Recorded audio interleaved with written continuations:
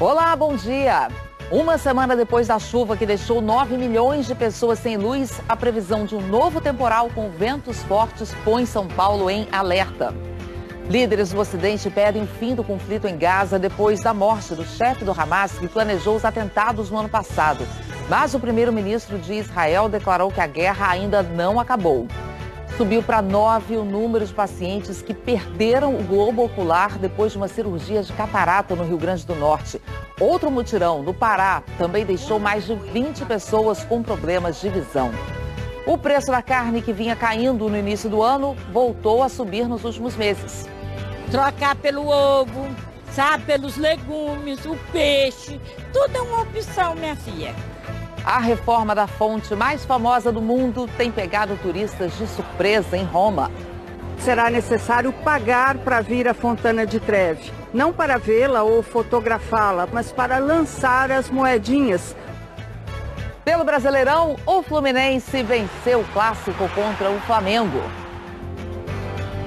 E o Corinthians derrotou o Atlético Paranaense na briga contra o rebaixamento. Hoje é sexta-feira, 18 de outubro, e o Bom Dia Brasil está começando.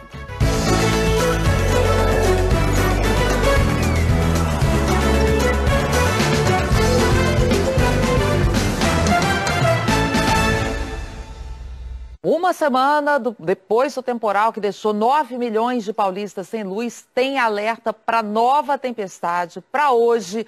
Vamos lá para São Paulo. Rodrigo Bocardi, bom dia para você. A questão é que aí, São Paulo, região metropolitana, mal se recuperaram, né? Já vem mais chuva, com previsão de ventania. Agora, dessa vez, tem um gabinete de crise montado.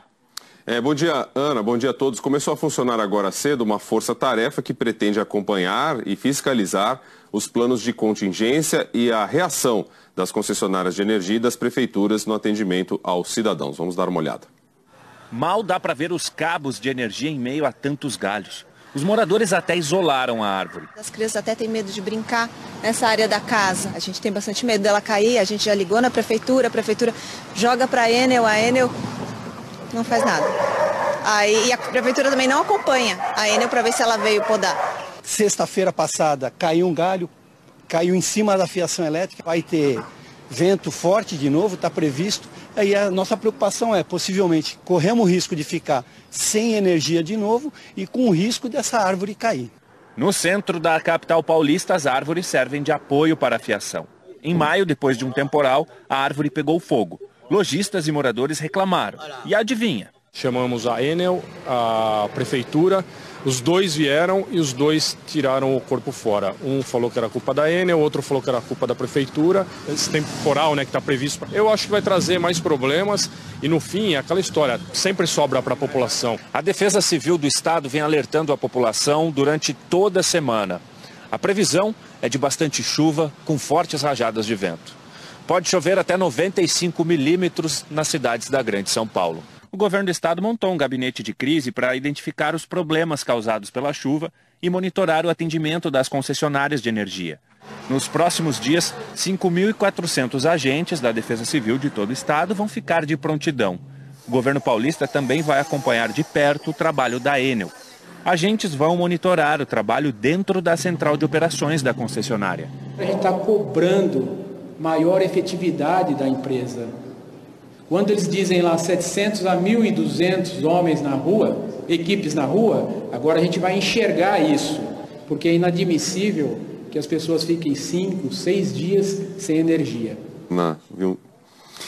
Sobre as árvores é, mostradas na reportagem, a Prefeitura de São Paulo informou que elas fazem parte das 240 mil que a Enel se comprometeu a podar esse ano. A gente mostrou aqui no Bom Dia Brasil que só 1.700 foram realmente podadas.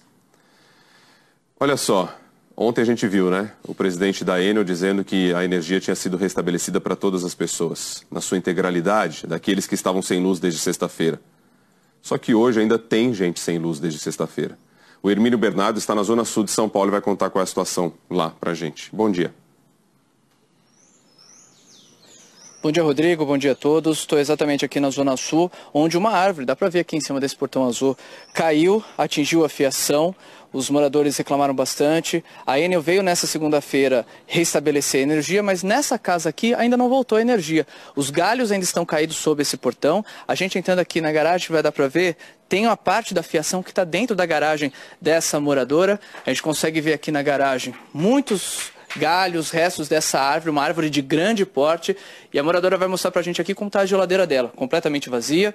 Pessoal precisando improvisar com isopor, com gelo, para mostrar a situação. Aqui, a geladeira completamente vazia. E essa não é uma área exclusiva daqui dessa rua. Em vários pontos da Grande São Paulo, da Zona Sul também, aqui da capital, o pessoal está fazendo uma gambiarra para conseguir ter energia. Em muitas casas a luz voltou, mas voltou com uma fase só. Então, funciona em um cômodo, não funciona em outro. É uma situação muito difícil para os moradores, que já estão há uma semana sem luz em vários pontos da região metropolitana da capital paulista. Rodrigo.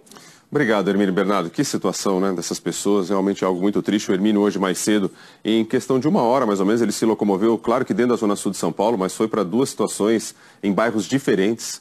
É, só que em comum entre elas é a falta de energia desde sexta-feira para essas pessoas.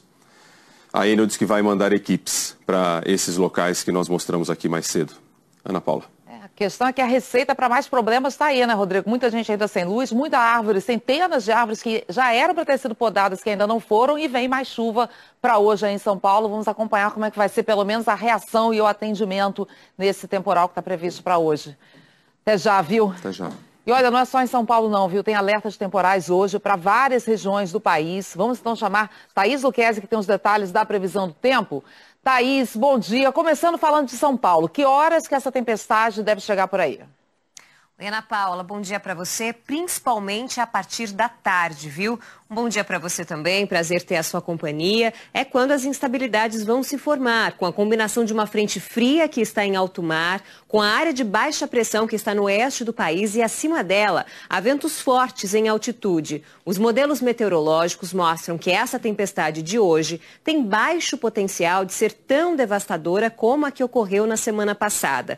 Mas ainda assim, pode ventar forte toda essa área que vem desde Rondônia até o norte de Santa Catarina. Aqui na Grande São Paulo, em verde claro, as rajadas podem atingir os 70 quilômetros por hora no fim do dia. Mas no oeste do estado, aqui mais escuro, a ventania pode ser mais intensa, na casa dos 90 quilômetros por hora. Também em Mato Grosso do Sul e no oeste do Paraná. Esta é a área onde há risco de temporais nesta sexta-feira. E eles devem atingir desde o Piauí até Santa Catarina. Amanhã, a chuva tende a ser mais volumosa. São 50 milímetros previstos para o Rio de Janeiro e São Paulo. Aqui, a temperatura cai 20 graus amanhã, cai para 20 graus amanhã à tarde. Vai chover forte também em Belo Horizonte e Goiânia, com 25 e 29 graus. No fim de semana, a chuva ela vai ganhar força no litoral paulista e também no Carioca. Em Ubatuba e Rio das Ostras, veja, podem acumular até 100 milímetros nos dois dias. A Defesa Civil emitiu um alerta, inclusive, aqui para o estado de São Paulo. Você vê que de Araçatuba até a região de Sorocaba pode cair até 200 milímetros até domingo. Na região do Vale do Paraíba até a Baixada Santista, mais 150 milímetros. E na Grande São Paulo, em toda a área em amarelo, 95 é muita chuva. Os temporais deixam em alerta também nesse fim de semana o centro-oeste, também parte da região norte e o interior do nordeste. O tempo tende a ficar mais firme só no Rio Grande do Sul. Em Porto Alegre, hoje, máxima de 22 graus, você vê aí as imagens. No fim de semana chega aos 25, mas no meio da semana que vem, Ana, voltam os riscos aí de temporais, a gente vai contando. Bom fim de semana para você. É isso, vamos atualizando. Bom fim de semana, Thaís. Falamos bastante aí de chuva, né? Agora, na região norte, a seca segue tão severa que revelou até os destroços de um navio que naufragou no Rio Madeira. Dá uma olhada nessa imagem. Olha, historiadores afirmam que essa embarcação é do século XIX, de fabricação americana, e o que sobrou desse navio estava encalhado no município de Manicoré, no interior do Amazonas, e foi encontrado por marinheiros e pesquisadores. Segundo os marinheiros, partes do navio ficavam visíveis durante outras secas, mas eram confundidas muitas vezes até com pedras. Então essa é a primeira vez, a seca está tão severa que pela primeira vez a embarcação apareceu assim por completo. No estado do Amazonas, a seca já impacta a vida de mais de 800 mil pessoas, segundo a Defesa Civil. Agora a gente traz mais uma história absurda acontecida no mutirão de cirurgia de catarata. Mais de 20 pessoas que fizeram essa operação em Belém estão com problemas de visão e algumas perderam o globo ocular. A esperança de enxergar melhor se tornou um pesadelo para Benedita depois de uma cirurgia de catarata. Passava muito mal, minha vista inflamava e eu voltava. Então, quando eu cheguei lá, eu encontrei o relato que eram muitas pessoas que estavam no mesmo processo do meu. Albanise perdeu o globo ocular esquerdo por causa de uma infecção. Eu passei pela cirurgia, né? Fiz limpeza umas duas vezes, não deu certo, a dor intensa, uma dor que não passa. As duas foram atendidas nesta clínica em Coraci, distrito de Belém. Em julho, a Clínica São Lucas realizou 40 cirurgias de catarata em um único dia. Depois do procedimento, mais de 20 pacientes denunciaram problemas na visão. Após os relatos, o Conselho Regional de Medicina fez uma vistoria técnica ao local e constatou irregularidades. Um relatório será encaminhado para o Ministério Público do Pará. Em relação ao centro cirúrgico, nós constatamos a presença de comprimidos, pastilhas de formol envoltos de gás jogados no chão. Também vimos uma máquina de lavar no centro cirúrgico, coisa que não é o habitual de nós encontrarmos. A Clínica São Lucas disse que está regular perante os órgãos de fiscalização e cumpre rigorosamente os protocolos de prevenção e controle de infecção hospitalar, para minimizar os riscos de contaminação e garantir a segurança dos pacientes, profissionais de saúde e visitantes. Disse ainda que está colaborando com as autoridades para investigar cada caso e que está prestando suporte aos pacientes prejudicados. Alguns pacientes recorreram à justiça em busca de reparação. Nós estamos pedindo reparação por danos morais, estéticos, materiais. Mais de cinco pacientes tiveram que amputar seus olhos, né? Eu não saio de casa desde que eu me operei eu estou em casa, eu não vou no supermercado, eu não vou em feira, eu não saio para canto nenhum. É bem difícil, é um pesadelo. Um pesadelo, né? E a Secretaria de Saúde de Belém está investigando o caso e suspendeu, claro, o encaminhamento de novos pacientes para essa clínica São Lucas. E no outro caso desse que nós mostramos essa semana aqui no Bom Dia Brasil, subiu para nove o número de pacientes que também perderam o globo ocular no outro mutirão de cirurgias de catarata. Esse foi em Parelhas, no Rio Grande do Norte. O Ministério Público do Estado do Rio Grande do Norte está investigando essa história, as causas da contaminação. O caso também corre em segredo de justiça no Tribunal Regional Eleitoral do Rio Grande do Norte, porque o TRE quer saber se houve crime eleitoral nesse mutirão que foi feito por uma empresa e pago pela Prefeitura nove dias antes da reeleição de Tiago Almeida, prefeito do PSDB. Bom, a Prefeitura afirmou que essa ação eleitoral já foi contestada, que o credenciamento para cirurgias foi feito com cinco empresas no portal de compras públicas, assegurando a legalidade de todo o processo e que o pagamento ainda não foi feito porque a investigação não foi concluída. Resposta, então, da Prefeitura. Vamos para o intervalo. Já já você vai ver que o presidente da Câmara de Vereadores de João Pessoa é alvo de uma operação que investiga influência de facções criminosas nas eleições. E mais, o brasileiro já está sentindo no bolso o peso da carne mais cara. Depois de meses de queda, o preço voltou a subir. E o governo federal anuncia que vai bloquear o uso do cartão do Bolsa Família em sites de aposta online. Todos os detalhes já já, depois do intervalo. Agora são 8 horas e 43 minutos, horário de Brasília. Estamos de volta com notícias de agora de manhã. Polícia Federal faz, neste momento, duas operações para apurar aliciamento de eleitores e a influência de facções criminosas nas eleições. Operações que acontecem em João Pessoa e na região metropolitana. Vamos direto ao vivo, então, falar com a Karine Tenório, que está acompanhando e tem as informações aqui para gente. Bom dia, Karine.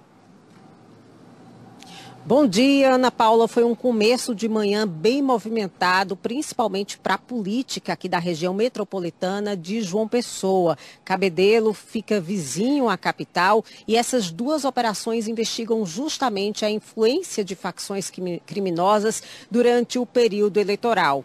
Aqui em Cabedelo, a operação da Polícia Federal, um, um dos alvos da operação da Polícia Federal foi na Secretaria de Administração da cidade. Vale lembrar que Cabedelo Teve a atuação de tropas federais durante o primeiro turno, justamente por conta desse problema das facções criminosas. Em João Pessoa, a gente pode dizer que o alvo principal da operação da Polícia Federal foi o presidente da Câmara Municipal, Dinho Dowsley, que é do partido PSD. Inclusive, ele já cumpriu cinco mandatos na Câmara Municipal, tem mais de 20 anos de, de vida pública e ele foi o terceiro vereador mais votado em João Pessoa. Ele está sendo acusado aí de favorecer facções criminosas em João Pessoa, isso em troca de votos e também controlar o acesso de outros candidatos às comunidades em João Pessoa e isso teria interferido no resultado das eleições. Eu estou aqui em frente à casa do presidente da Câmara Municipal e a movimentação aqui tem sido intensa, principalmente de advogados. Ele vai ter que cumprir algumas medidas cautelares, viu, Ana Paula? Inclusive, ele teve a função pública suspensa e vai ter que utilizar tornozeleira eletrônica. Volto com você. Obrigada, Karine. Qualquer nova informação traz para a gente, então, aqui dessa operação que acontece nesse momento aí em João Pessoa e na região metropolitana. Obrigada. Agora a gente fala do preço da carne. Pois é, tinha dado um alívio nos últimos meses, né? Mas voltou agora a pesar no bolso do brasileiro. Vamos falar sobre isso com a Aline Aguiar lá em Belo Horizonte. Aline, bom dia para você. Tinha uma tendência de queda, né? Mas de agosto para cá, essa tendência se inverteu. Só no mês passado, Ana, a alta foi de 3%. Bom dia para você, bom dia a todos. O consumidor está fazendo as contas e procurando alternativas. A dona Edir comprou só um quilo e meio de carne, mas queria ter levado o dobro. Isso aí é só para dar o gostinho da carne? É enganar. A carne tá cara demais. Dá uma assustada, sim. Mas leva, né? Leva. Eu já fiz o compromisso de fazer o, o almoço. Depois de registrar seis meses de quedas consecutivas, o preço das carnes subiu 0,52% no IPCA de agosto. Em setembro, o aumento chegou a quase 3%. Uma das explicações é o crescimento da venda de carne brasileira para o exterior. Em setembro, as exportações atingiram um volume recorde, com faturamento de 1 bilhão 258 milhões de dólares. Uma outra coisa que é muito importante é o impacto da seca e das estiagens muito fortes que aconteceram. Até mesmo os incêndios impactam diretamente na atividade produtiva. O produtor precisa lidar com isso, está a céu aberto. E isso compromete muito os seus sistemas de produção. Nesta rede de açougues de Belo Horizonte já tem um mês que os clientes estão sentindo no bolso a diferença nos preços. Aqui, todos os cortes de carne bovina subiram em média R$ 2,00 o quilo.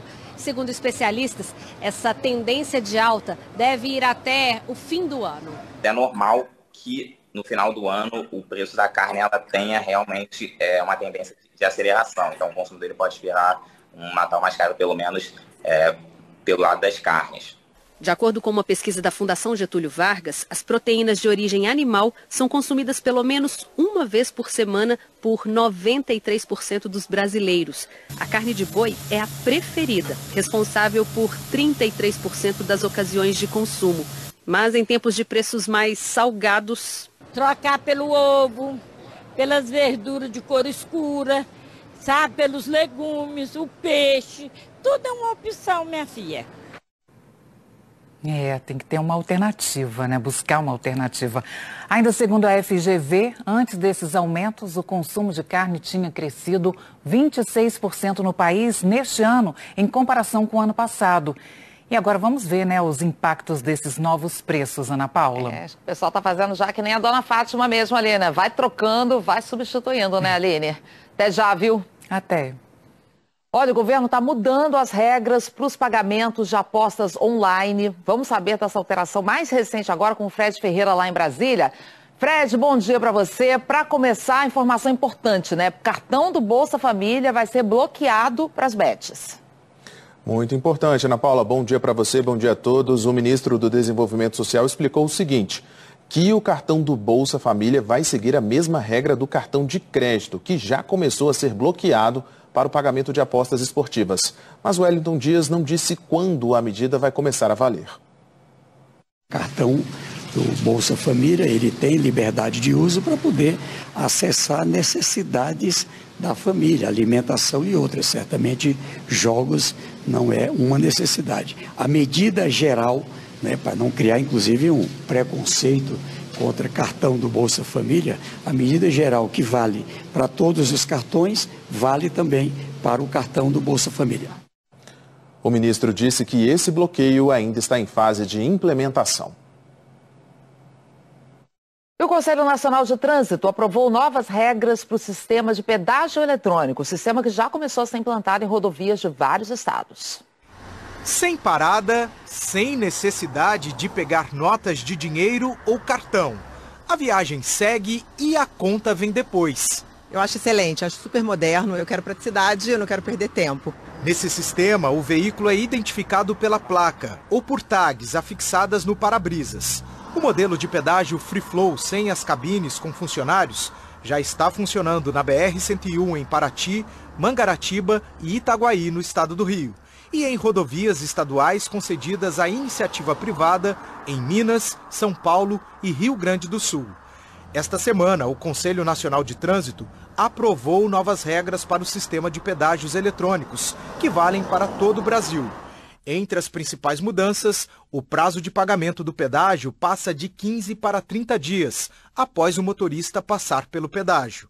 As imagens capturadas do veículo serão armazenadas nos sistemas por 90 dias, a partir da data de passagem, e ficarão guardadas por cinco anos se o motorista não pagar o pedágio. Atualmente, não há integração de dados em todo o país.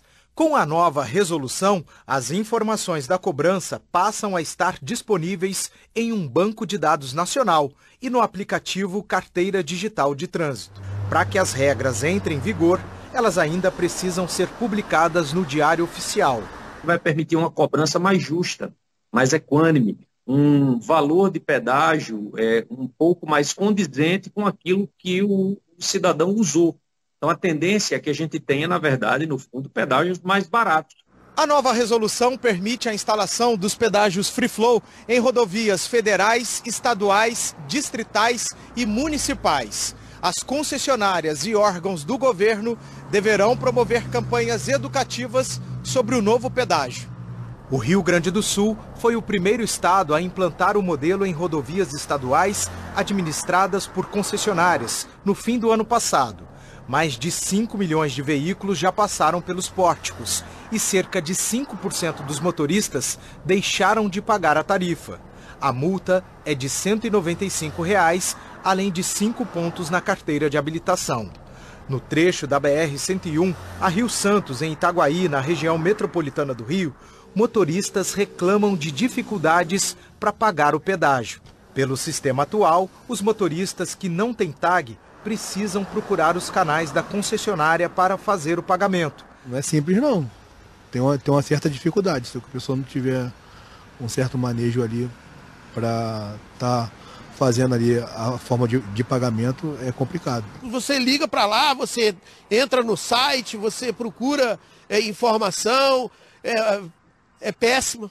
Para falar com eles é péssimo, é difícil para caramba. A Secretaria Nacional de Trânsito diz que as novas regras vão facilitar o uso do sistema.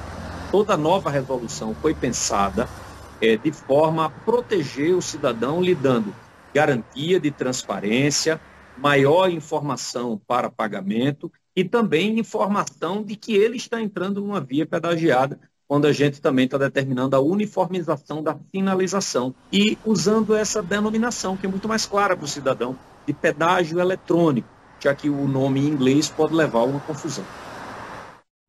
A gente volta a seguir, você vai ver que a guerra no Oriente Médio entrou num novo capítulo depois da morte do número um do Hamas, mentor dos ataques terroristas em Israel em 7 de outubro.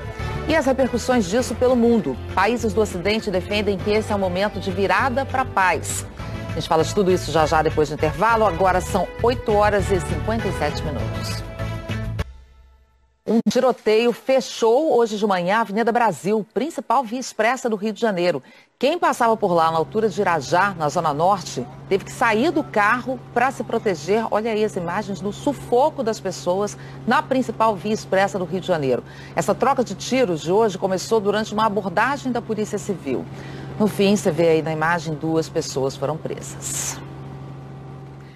E no Oriente Médio, a guerra continua, mesmo depois da morte do chefe do grupo terrorista Hamas. Vamos chamar nossa correspondente Cecília Malan. Cecília, bom dia para você. Nenhum dos lados do conflito dá sinais de que vai baixar as armas. Não mesmo, Ana. Bom dia a todos. O Hamas disse que está mais forte agora. Já o grupo extremista libanês Hezbollah, aliado do Hamas, disse hoje que a guerra vai entrar numa nova fase e prometeu aumentar a escala dos ataques contra Israel.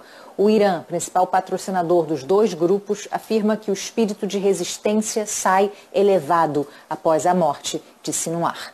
As sirenes voltaram a tocar no norte de Israel por causa dos foguetes lançados pelo Hezbollah.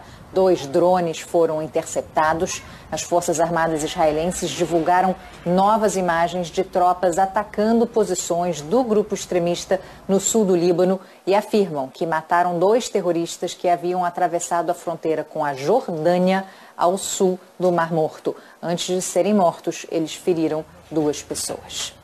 Na faixa de Gaza, os bombardeios israelenses mataram 25 pessoas nas últimas 24 horas. O primeiro-ministro Benjamin Netanyahu deixou claro ontem que a morte de Sinuar não significa o fim da guerra, ao contrário do que muitos esperavam. Sinuar foi morto na quarta-feira durante uma operação do exército israelense em Rafah, no sul do território palestino. Uma imagem de drone mostra o líder do Hamas ainda vivo ferido e coberto de poeira dentro de um prédio em ruínas. Ele morreu depois, quando o prédio desabou e a identidade foi confirmada num exame de DNA. O corpo foi transportado para um lugar secreto em Israel.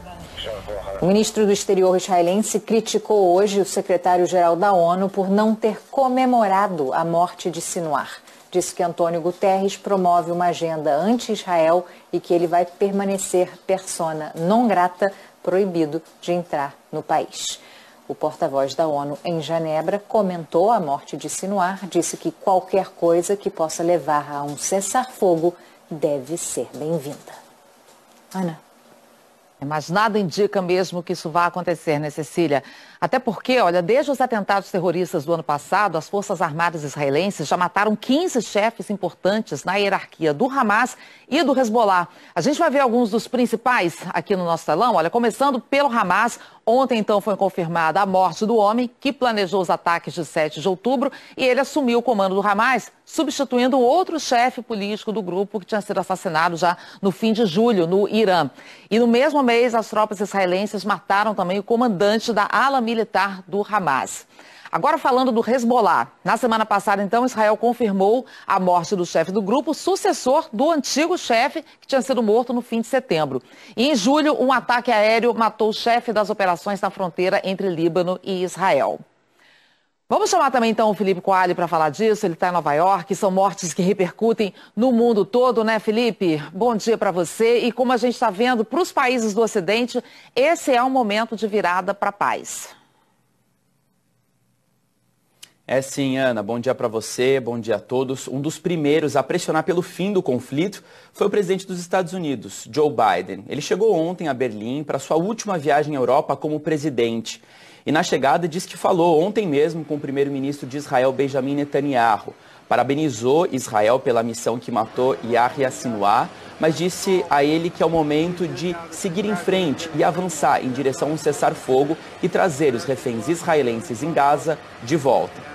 Biden afirmou que vai enviar o secretário de Estado americano a países do Oriente Médio nos próximos quatro ou cinco dias. Anthony Blinken, inclusive, já telefonou para representantes da Arábia Saudita e do Catar para discutir sobre como avançar para o fim do conflito na região. Hoje, na Alemanha, o presidente Joe Biden foi recebido com honrarias de Estado. A pressão de Joe Biden pelo fim da, da guerra deve ganhar coro de outros líderes mundiais durante a viagem. Ele também vai se encontrar em Berlim com o premier britânico Keir Starmer e o presidente francês Emmanuel Macron, que já disse que a morte de Sinuá é um ponto de virada. Junto ao premier alemão Olaf Scholz, os quatro vão renovar o pedido pelo fim da guerra conjuntamente. O governo chinês afirmou que a prioridade é alcançar um cessar-fogo imediatamente. Já o Kremlin afirmou que está preocupado com as possíveis consequências da morte de Yahya Sinwar. Ana. E Felipe, o conflito na Ucrânia também está sendo discutido por esses líderes que estão na Europa. Tá sim, Ana. Na entrevista coletiva de Joe Biden e Olaf Scholz, lá em Berlim, o presidente americano disse que é preciso manter a determinação e o apoio à Ucrânia. O premier alemão defendeu que a OTAN, a Aliança Militar Ocidental, vai continuar ajudando os ucranianos. Hoje, o Serviço de Inteligência da Coreia do Sul afirmou que a Coreia do Norte enviou ao menos 1.500 soldados e milhares de contêineres com armas à Rússia para ajudar no conflito, o que chamou de grave ameaça à segurança internacional. Segundo a agência de notícias estatal da Coreia do Sul, o governo usou inteligência artificial para identificar os soldados norte-coreanos. O presidente sul-coreano fez uma reunião extraordinária de segurança para debater o assunto. A Rússia negou. Ontem, o presidente ucraniano Volodymyr Zelensky afirmou que recebeu informações de inteligência de que a Coreia do Norte pode ajudar a Rússia com envio de até 10 mil militares. Zelensky está em Bruxelas, na Bélgica, e participou ontem de um encontro de líderes da União Europeia. Ele apresentou seu plano da vitória, que inclui a adesão da Ucrânia à OTAN. Hoje, também em Bruxelas, é o segundo e último dia de reunião de ministros da defesa da Aliança Militar. O novo secretário-geral da OTAN afirmou, ao lado de Zelensky, que não vai abrir mão de apoiar o país em meio ao conflito com a Rússia. Ana. Ok, Felipe, obrigada, viu, pelas informações. Até mais. E a economia da China registrou o menor crescimento trimestral em 18 meses. No trimestre encerrado em setembro, o produto interno bruto do país teve alta de 4,6% na comparação com o ano anterior. Esse é o resultado mais fraco desde o início de 2023, quando o país estava começando a sair das restrições impostas pela pandemia. Apesar de estar em linha com as previsões de analistas e com o trimestre anterior, o resultado foi abaixo da meta anual do governo, que é de 5%. E a gente volta a seguir com um dado preocupante. O Brasil é um dos países que mais poluem os oceanos com plástico. E a nossa correspondente em Roma, Ilse Scamparini, fala do fechamento de um dos pontos turísticos mais famosos da Itália, a Fontana de Trevi. Os detalhes já já, depois do intervalo. 9 horas e 9 minutos agora. O fechamento de um dos pontos turísticos mais procurados da Itália está pegando muito viajante de surpresa. Quem vai mostrar para a gente é a nossa correspondente em Roma, Ilse Scamparini. Uma multidão pelas ruas de Roma. Não é dia de futebol nem de bênção do Papa. É a Fontana de Trevi, a fonte mais famosa do mundo, que por causa do jubileu de 2025 está sendo restaurada, como toda a capital italiana para alguns brasileiros, desilusão. Ah, eu fiquei um pouquinho decepcionada, eu admito, porque eu queria ter visto ela como a gente está acostumado, né, nesse imaginário coletivo. Mas aí é um motivo para voltar, né? Primeira vez aqui. Uma pena estar em reforma, né? Mas é linda, muito linda a Fontana. Brevemente será necessário pagar para vir à Fontana de Treve não para vê-la ou fotografá-la, porque a praça vai continuar aberta aos turistas, mas para lançar as moedinhas, uma tradição muito antiga. Há milhares de anos, os romanos colocavam oferendas e jogavam moedas em riachos, fontes e lagos, pedindo sorte às divindades aquáticas. No século XIX, o gesto se consagrou e inclui dois pedidos: voltar a Roma e encontrar um amor romântico. Um amor eu já encontrei, agora voltar é a expectativa. As moedas são literalmente sugadas por uma bomba especial. O gerente de aquedutos e fontes monumentais, Marco Tessan, diz que ali dentro se encontra de tudo: ao jogar a moeda, qualquer coisa pode cair. Encontramos pulseiras, colares e até dentaduras. A prefeitura arrecada cerca de 3 mil euros por dia que vão para a caridade. No início de 2025, o ingresso deverá custar 2 euros por pessoa, 12 reais. Para admirar a obra de arte inaugurada em 1762, será obrigatório fazer reserva e cada turista terá meia hora para lançar a moedinha. tempo que provavelmente será recalculado para alguns minutos, a julgar pela multidão em pleno outono romano. A gente agora traz um estudo preocupante mostrando que o Brasil é um dos 10 países que mais despejam plástico nos oceanos. Mais de um milhão de toneladas de plástico vão parar no mar a cada ano. O lixo se espalha pela colônia de pescadores na Baía de Guanabara. Seu Carlinhos atua numa ONG que recolhe resíduos na água. Tem muito plástico? Muito, o que bastante é plástico. Olha aqui, ó. Vou te dar um exemplo, olha ali. Toma ali. Isso aqui foi tudo você que recolheu? Tudo a gente que recolhe, ali o amigo ali, o Assis, ó, que somos aqui. pescadores, ó. ó. Tudo isso aqui, ó. É material reciclado que vem na água. Tá aqui, ó. Tô esperando alguém vir aqui para recolher. Segundo o relatório da ONG Oceana, o Brasil é responsável por 8% da poluição de plásticos do planeta. O estudo afirma que boa parte vem dos rios que atravessam o país. 98% dos peixes amazônicos analisados no estudo continham plástico ou microplástico. Um exemplo vem de Manaus, onde em 30 dias a prefeitura retirou 195 toneladas de lixo acumulado na orla dos rios. A gente é um país é, que tem proporções continentais, a gente é um país produtor de plástico e que a gente produz todos os anos no nosso país 500 bilhões de itens de plástico de uso único, entre copos, talheres, é, pratos, é, sacolas descartáveis e outras embalagens. E demonstra que a gente precisa pegar o, o problema pela rédea aí e avançar com soluções que de fato mudem esse cenário. Todo esse lixo recolhido pelos pescadores é resultado do nosso consumo. Quanto tempo leva uma pessoa para beber o líquido dessa garrafa? E a sacola do supermercado usa 30, 40 minutos e joga fora. Os pesquisadores dizem que usamos rapidamente algo que vai permanecer durante séculos poluindo o planeta. E assim, descartando um brinquedo, um chinelo velho, os brasileiros lançam por ano no oceano mais de 1 milhão e 300 mil toneladas de plástico. O projeto detetive da Universidade Federal do Ceará pesquisou a origem de canudinhos e embalagens que chegam no litoral e descobriu que até 80% desses plásticos eram da África. Poluição por plástico hoje em dia é uma poluição que não conhece fronteiras. Então, realmente, alguns materiais de outras é, localidades chegam aqui. Isso não exime que a gente, enquanto país, tem uma responsabilidade grande e segue despejando uma quantidade bastante significativa de plástico nos oceanos. Se o ser humano soubesse a irresponsabilidade que ele está tendo, o, preju o prejuízo que ele está dando, o dano que ele está dando à natureza, conscientização da população é o mais, mais correto. Imagem angustiante de ver, né? Bom, Débora Gás já está aqui, porque depois do intervalo, então temos o futebol. Teremos as notícias do futebol. Bom dia, Ana, para você também. No Brasileirão, o Corinthians goleia o Atlético Paranaense e deixa a zona do rebaixamento. E o Fluminense, e o Fluminense? ele venceu o clássico contra o Flamengo. Vamos mostrar mais já já, então, 9 horas e 18 minutos agora. Muito, grande maestro. Exato. Agora, infelizmente, antes do jogo, dezenas de pessoas brigaram perto do estádio. Teve isso, olha, cenas inacreditáveis, né? Selvageria, né, Ana? Moradores é que flagraram esses confrontos que aconteceram no meio da rua, simplesmente. Até pedras foram arremessadas. Teve gente que desmaiou e acabou saindo carregada. Polícia Militar usou bombas de efeito moral para tentar dispersar a confusão e quatro pessoas foram presas.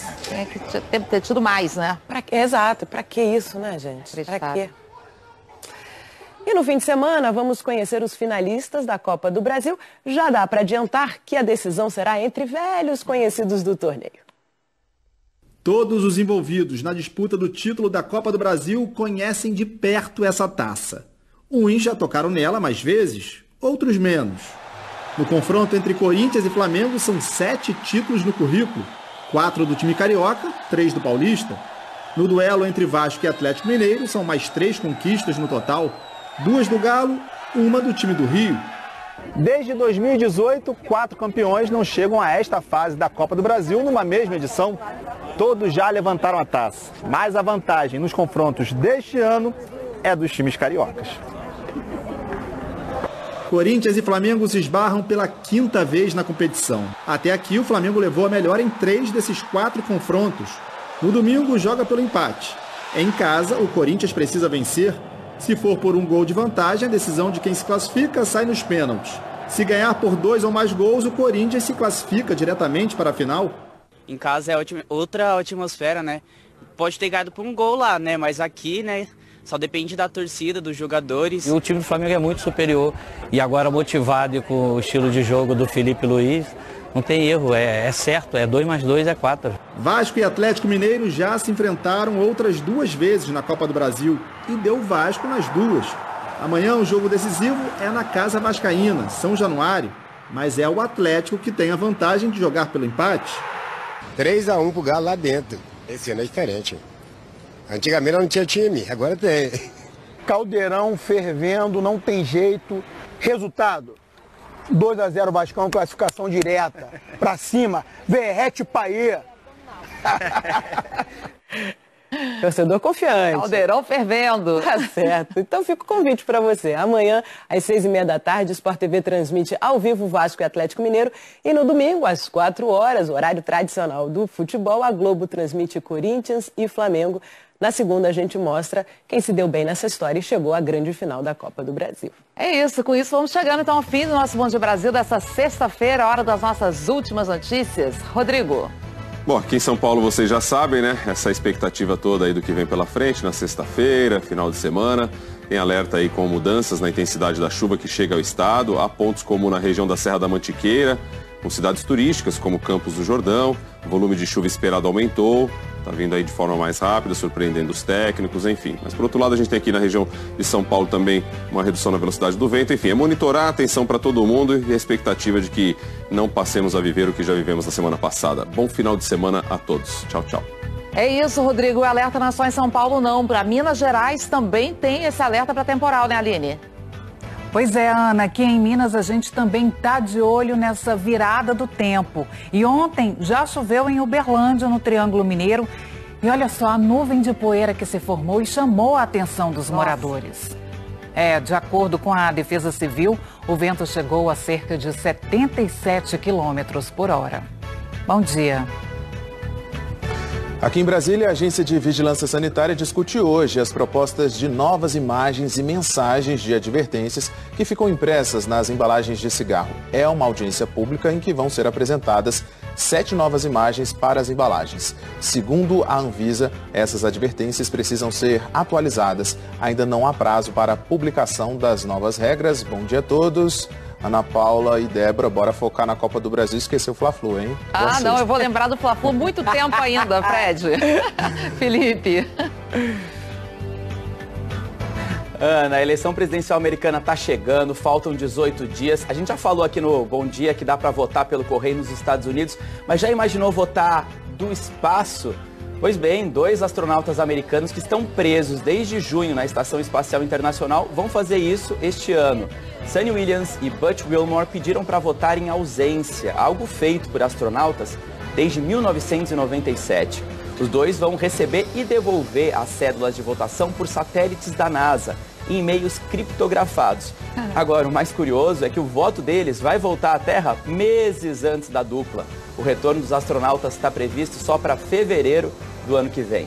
Bom fim de semana para todo mundo. É, cidadania até no espaço, né? Prometidos. Com isso, a gente vai encerrando então o nosso Bom Dia Brasil dessa sexta-feira. Você fica agora com o encontro. Para você, ótimo dia e curta muito seu fim de semana. Uma ótima sexta-feira para você. Aproveite bastante o final de semana. Tchau, tchau.